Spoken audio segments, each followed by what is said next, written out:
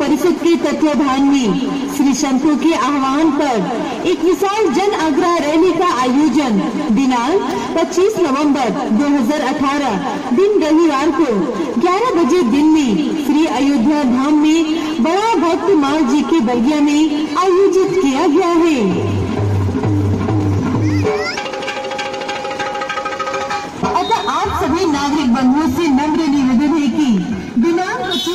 नवंबर 2018 हाँ ये क्या हो रहा है?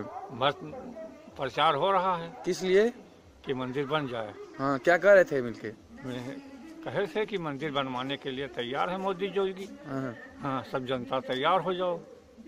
ये कहे हैं लोग? हम्म, मीटिंग में केवल धर्म रक्षा मंच की बैठक है अयोध्या में। हाँ। उसी पर बैठक की गई है जैसे जो उन्नीस सौ बानबे में।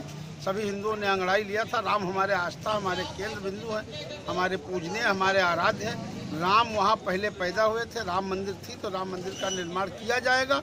हम किसी पार्टी से हट के बाद में है, पहले राम के भक्त हैं, हिंदू हैं, इस देश के वासी हैं। तो हमारा नैतिक धर्म बनता है कि अपने आराध्य के लिए हम कुछ करें, इसी में हमारे समाज की भलाई है। धन्यवाद। क्या ये सब तैयारियाँ चुनाव को लेकर की जा रही हैं क्या? नहीं, चुनावी रणनीति कुछ नहीं, ये तो उन्नीस सौ बानबे में कौन सा चुनाव था जब मस्जिद ढाई गई थी, तब कौन सा चुनाव था? ऐसा कुछ नहीं है।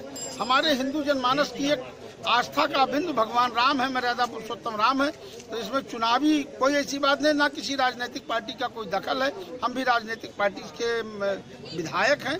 ऐसा कहीं कुछ नहीं जो जनता की अदालत है जनता की अदालत ने जो फैसला लिया जो हिंदू की अदालत ने फैसला लिया उसका सम्मान किया